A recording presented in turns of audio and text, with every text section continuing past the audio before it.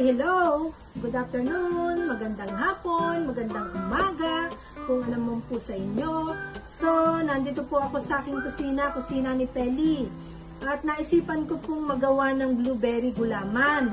Gulaman, jelly, parehas din lang po. So, kaya ko po naisip dahil tag blueberry po dito. So, isi-share ko po ang paggawa ng aking pong blueberry gelatin. Meron po akong 2 cups ng uh, blueberry, 2 cups po ang kailangan natin. Meron, meron tayong uh, 1 and a half cup ng sugar. Uh, depende po kung gusto niyo ng mas matamis pa, nasa sa inyo po. Pwede po kayong magdagdag ng sugar. Meron po tayong uh, 2 and a half cup ng water. Meron tayong 1 can ng evaporated milk, pwede ang fresh milk. So, kayo na po ang bahala kung anong gusto milk, kung anong gusto niyo milk na gamitin. Meron po tayong vanilla essence. Ang kailangan po natin sa vanilla essence ay 1 teaspoon lang po. At meron tayong 1 pack of nuts na unflavor gula, uh, gelatin. Uh, gagamitin po natin lahat yung laman ng, uh, ng isang box na ito. So, meron tayong lime.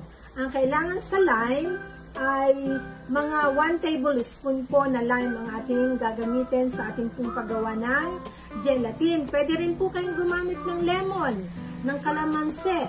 Depende po kung anong meron sa inyong kusina.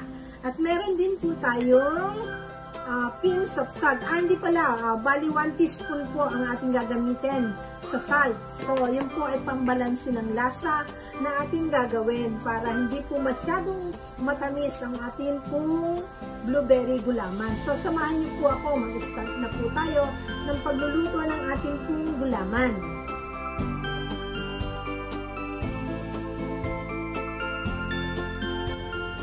So, mag-start na po tayo magluto ng ating pong blueberry. Uh, nabuksan ko na po yung apoy na ating pong gagamitin. Ilalagay na po natin ang ating pong 2 cups na blueberry. Ilagay ko na po. At ilalagay po natin yung 1 and a half cup na sugar. Pagsasamahin na po, andyan na po silang lahat. So, i-add na rin po natin ang ating pong lime na 1 tablespoon. Ilalagay na po natin. So, ating pong haluin. Huwag niyo pong lalagyan ng water. Mamaya po ang water. Pagka sila po ay tubig na. Magmemelt po. Makikita niyo po pagka uh, nag-try kayo magluto ng blueberry na ating gagawing gulaman. So, balikan po natin. So, add na rin na po natin yung ating po 1 teaspoon ng salt. Dito na po, lagay na. Ganito na po ang itsura ng ating pong blueberry. Nakikita niyo po ba ang blueberry na niluluto ko? So, ganito po. Na natutunaw na po ang sugar. So, hayaan, hayaan lang po natin na ito ay makakulo. Pag yun po ay kumulo na, pwede na po nating papatayin yung apoy niya. So, pag na, natunaw na po yung ating pong sugar, ganito po ang itsura ng ating pong nilulutong blueberry. Pag siya po ay tunaw na, ah, pwede na po natin i-add yung ating water na 2 and a half cups. I-add na po natin ang ating tubig.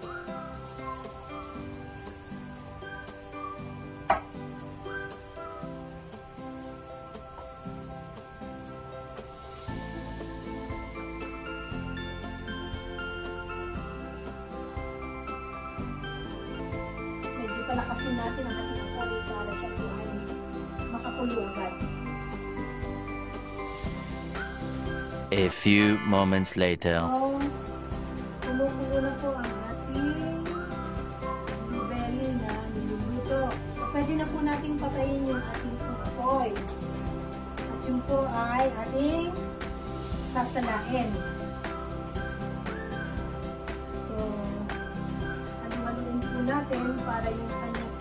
Sugar ay mas lalong matunaw pa.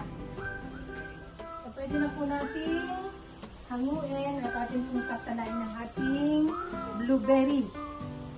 So, ganito po. Salain po natin ang ating blueberry.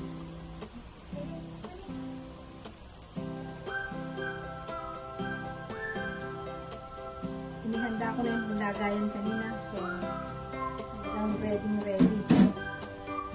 So, nasala ko na po ang ating pong blueberry.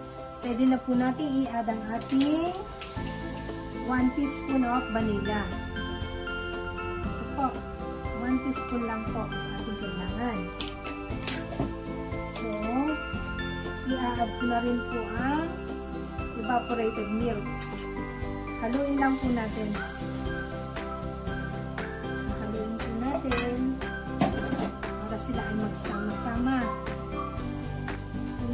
Ito pong uh, flavor uh, gulaman atin po i-dilute sa tubig. Ay, lalagay na po natin yung ating dinilute na unflavor gelatin, unflavor gulaman. Uh, I-add ko na po dito sa ating pong gagawing uh, blueberry gulaman, blueberry gelatin. So, nilagay ko na po ang ating unflavor gelatin na tinunaw. Hmm, tinunaw.